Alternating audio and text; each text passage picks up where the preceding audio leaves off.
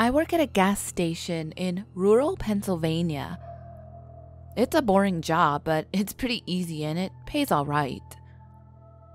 A few weeks ago, this new guy started. I'll call him Jeremy.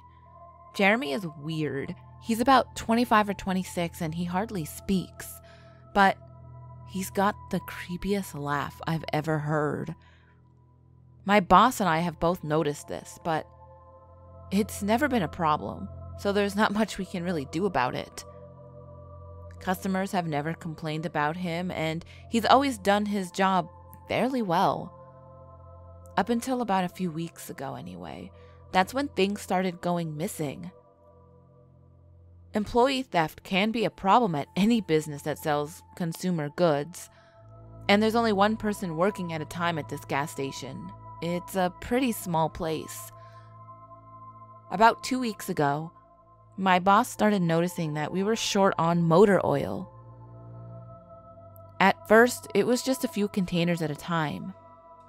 Then, entire shelves and boxes from the back room. Pretty soon, entire shipments would be gone the day after we got them. And it would always be right after Jeremy's shifts.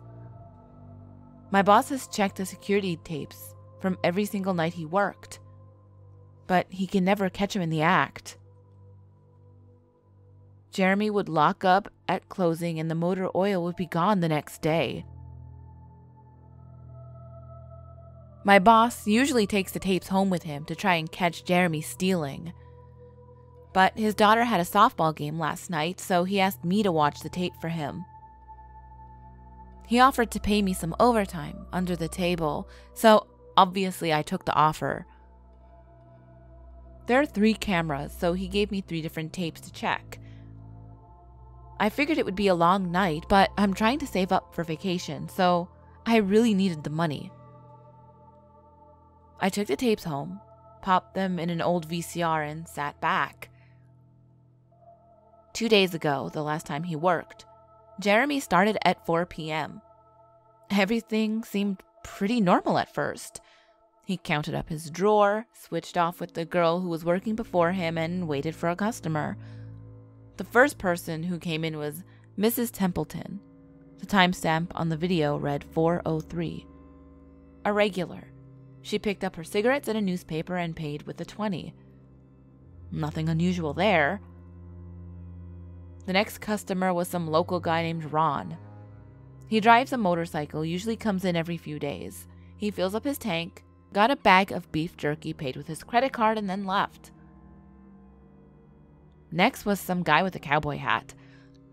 I've never seen him before, but we get plenty of strangers passing through, just like any other gas station. He got $40 worth of diesel fuel, paid with a $100 bill, and then went on his way. I sat back and sighed. The only thing more boring than doing this job is watching someone else do it. My boss's offer was enough to keep me watching, though, so I left the tape on. Everything seemed pretty normal. I had a feeling that if Jeremy was stealing the motor oil, he knew that we were suspicious of him by now. I didn't expect him to be dumb enough to let us catch him on camera. Things stayed boring and routine until about 5 o'clock. At 5:03, Mrs. Templeton came back in.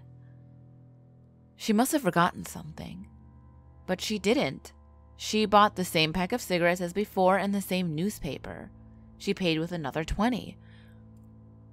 That's odd, I thought, but then again, she is a little absent-minded. I thought Jeremy should have told her she already bought her smokes, but it's not against the rules to sell someone the same thing twice. That's when Ron came in again. He bought another tank of gas for his motorcycle again. And I later checked the outdoor camera because I thought maybe he had another car he wanted to fill up. And he bought the exact pack of beef jerky. He paid with his credit card again. No big deal. I figured this was just some weird coincidence. Mrs. Templeton is forgetful, and Ron probably owns more than one Harley. That's when the guy in the cowboy hat came back in. And I felt a chill run down my spine. Don't get diesel, don't get diesel. I found myself whispering to my empty living room, but he did. He got $40 worth of diesel fuel and paid with another $100 bill. Every move he made was identical to his first visit, right down to the way he scratched his nose before walking out. Either this guy is rich, owns a lot of trucks, and just moved into town, or something really bizarre is happening. I kept watching. Every customer for the next hour was the same as before. Every single one. I was seriously freaked out. And then at 6:03, Mrs. Templeton walked back in. She bought her cigarettes and her newspaper again and paid with a 20 again. I thought I was going to lose it. I only watched another half hour before I started fast forwarding through the rest. It was all the same. Every customer would come in at the exact same times, exactly one hour apart. Now, I know what you're thinking. That sneaky motherfucker Jeremy must have messed with the tapes. He had run a loop of his first hour of business over and over, and that just wasn't the case. There are windows around the cash register area, and that camera, it covers them. And I watched the sunlight fade as the time ran on. Jeremy's routine did not loop over. He swept and mopped and restocked and did all his duties exactly how you'd expect. But the same customers, they just kept coming in. I was panicking at this point. Something was seriously wrong with what I was seeing, and I had no explanation for it. I skipped ahead to when he locked up and walked out to his car. He hadn't stolen anything, but I kept watching just to make sure. I fast forwarded one last time to about midnight at exactly 12:03, out of nowhere, Jeremy's face pops up on the camera. And I don't mean he moved his head into view. I mean that one second the store was empty and the next second his face was all I could see. He wasn't looking at the camera. He was looking at me. I was sure of it. I screamed and I fumbled for the remote, and by the time I grabbed it, he was gone just as soon as he had left. One frame he was there, the, the next, he wasn't. My hands were shaking like crazy, but I popped in the other tape. The other indoor camera shows the back area, by the cash register, and I would be able to see how he got up to put his face in the camera. I skipped ahead to 1203. But there was nothing. I would have been able to see him standing on a chair or something on this tape, but he wasn't there. I didn't see him enter the store at all after he left.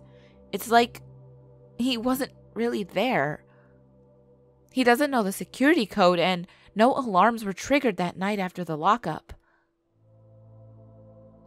What I did see, however, was that at 1203, the motor oil vanished off the shelf.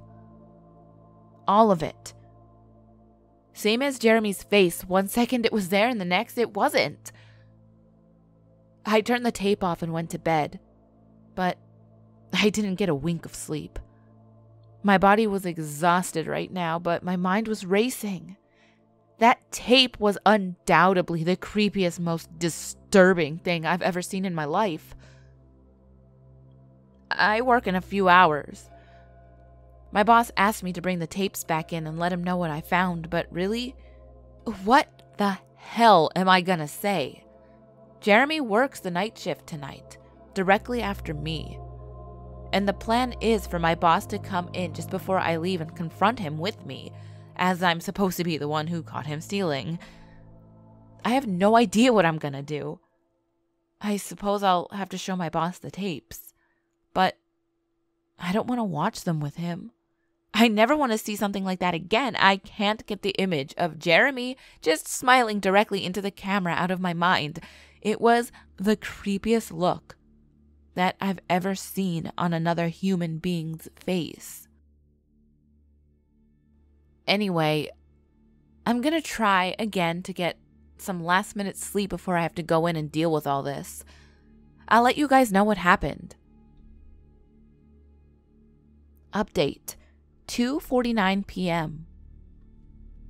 Updating from my phone. Apologies in advance for the errors. My boss just finished watching the last of the tapes. I told him what to expect, but you really can't prepare someone for something like that. He's scared shitless, and I still am too. And Jeremy is due to come in at 4. We've got a little over an hour to get our shit together, but neither of us knows what to say to him. Is he just some fucked up guy who likes to steal motor oil and scare the shit out of people? Or is he something else? I don't know if this is crazy, but does anyone else think that he can have something to do with this time loop? My boss said he never noticed anything like that on the other tapes, but the way he just popped up in this one made me think that he knew that I would be watching. Like he wanted me to see him and what he could do. Like that he was showing off or something. The way he smiled into the camera, like a little kid showing you a sandcastle they just built or something. I don't know. I probably sound crazy. I sure feel the part. I'm to talk to my boss some more. We have to calm ourselves down and figure out how to handle this. I'll update again tonight, but I have a really bad feeling about how this is going to play out. Update 4:33 p.m. No sign of Jeremy. Tried calling him, but his phone has been disconnected. We're calling the police. Update 5:33 p.m. No sign of Jeremy. Tried calling him, but his phone has been disconnected. We're calling the police. Update 6:33 p.m. No sign of Jeremy. Tried calling him, but his phone has been disconnected. We're calling the police. Update 7:33 p.m. No sign of Jeremy. Tried calling him, but his phone has been disconnected. We're calling the police. Update 8:33 p.m. No sign of Jeremy. Tried calling him, but his phone has been disconnected. We're calling the police. Update 10:58 p.m. Holy shit, holy shit, holy shit, holy shit. I just got home and I saw my previous updates. Things make less sense now than ever. Here's what I can tell you I went to work. Jeremy never showed up. My boss and I decided to call the police, as you're well aware. When I picked up the phone to call, though, the sun went out. I shit you not. That's exactly what I thought happened. Apparently, I blacked out for exactly 5 hours because when I looked at the clock, it was 9:33. I got stuck in Jeremy's time loop. And then I snapped out of it at the exact point I blanked out. If that even makes any sense. But that's when things got really weird. My boss was right next to me when I blacked out ready to corroborate my story to the cops. When I came to, the phone was in my hand, but it was dead. Not even a dial tone. My boss was still right there, but he wasn't moving. He was standing up, but frozen. I looked at the clock again and it wasn't moving. The second hand was stuck on the number 12. It was 9:33 exactly. The clock on the register, a computer screen, it wasn't moving either. My phone was frozen. There was even a customer at the register, waiting for my boss to get him cigarettes. I'm betting that would have been his fifth pack that day. I got the fuck out of there. I didn't lock up, I didn't turn the lights out, and sorry guys, I did not grab the security tapes to upload on the internet. Believe me, that was the last thing on my mind. That gas station is on a major highway, and cars were parked all along it, except they weren't parked, they were frozen. The people inside sitting still as wax statues. I got in my car and I prayed that it would start, and thankfully it did. About halfway home, time started up again. The static on the radio turned into music, like it's supposed to be, and from what I can tell by listening to the host talking between songs, no one noticed this time freeze or whatever it was. I was the only one. Well, I'm sure Jeremy noticed as well. I still have no clue where he is or what he's doing. I'm hiding in my room and calling the police again in the morning. I don't know if I ever got through to them before or if I did, whether they took me seriously. I'm scared for my life at this point. I'll update tomorrow if I can. Final update 10:33 a.m. I finally fell asleep last night around 4. I have no idea how I did. I guess exhaustion got the best of me. This morning, I woke up to my phone ringing, and it was my boss. He'd been calling me since about 6. He woke me up when time turned back on last night and immediately called the cops. They came by to see what was wrong, and he told them everything.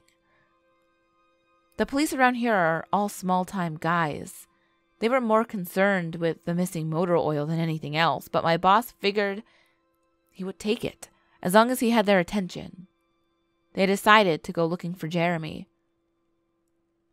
We keep all our employees' applications on file, and since Jeremy just started working here, he was easy to find. They checked the address on it and headed over to his house. And you're not going to believe what they found. The address Jeremy listed on his application, it was an empty lot. Or at least now it was. There used to be a house there, but it burnt down in 1993.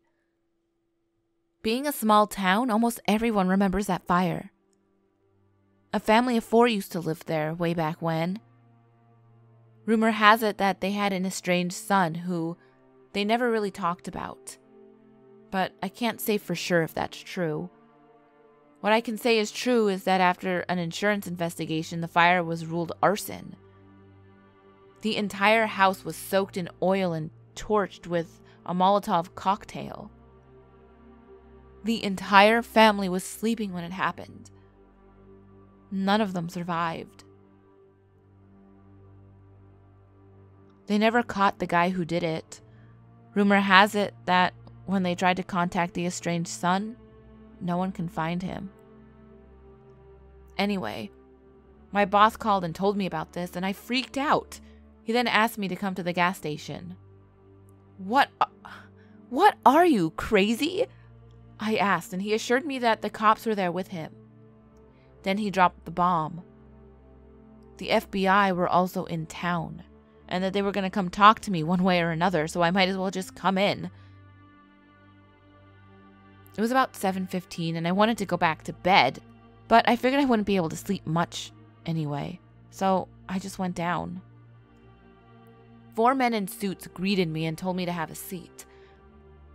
We went through everything, two or three times until they got all the details down. I told them about Jeremy, the security tapes, the last night at work, everything. Finally, after I finished, one of the agents said, Oh Christ, we've got another one on our hands. Then they made me sign a bunch of papers saying that I wouldn't tell anybody about what happened, so I can't really say much more. I might be breaking the law just posting about it. So now I'm home, and I'm not sure what to do with myself. That agent's words when I told him the story are gonna haunt me for the rest of my life. Anyway, I've gotta go. I have some errands to run today, and then I have to go into work to pick up some tapes. My boss and I think this new guy, Jeremy, he's a complete creep, is stealing motor oil, and I have to watch the security footage to see if I can catch him doing it. I have better things to do, but my boss is paying me overtime under the table, and I'm trying to save up for vacation so I could really use the money. It should be pretty simple. The oil always goes missing right after his shifts. I figure I'll just watch the tapes, catch him in the act, and that'll be that.